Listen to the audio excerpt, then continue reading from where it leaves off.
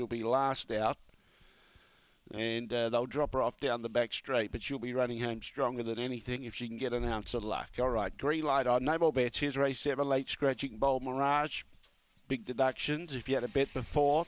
Away, getting away well was collecting. He's going to clear Sutton Daisy running to the first turn. Sutton Daisy kicks up on the inside and retakes the lead from collecting.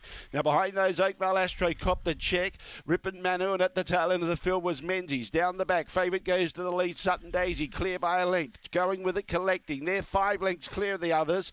Oakvale Astro, Rippin Manu and Menzies. But in front, little Sutton Daisy just keeps kicking and Sutton Daisy's going strong. Getting away from collecting, who's trying again, but Sutton Daisy goes on to beat collecting. Menzies got home for third. Fourth placing was Rippin Manu and Oakvale Astro at the tail end of the field, and the time was around 31.49. 31.49 the time. Sutton Daisy strong enough over the concluding stages to beat collecting here today. It's 128, 128 and 7.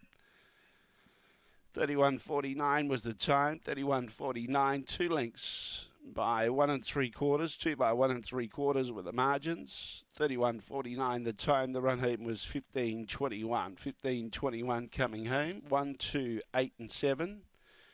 1, 2, 8, 7. Sutton Daisy is a dark brindle bitch, January 2018. Fernando Bale out of Sail Away Jackie. And Angela Modra training for Justin Thorpe. Was outpaced by collecting early, but she kicked up, showed good courage on the inside to retake the lead. And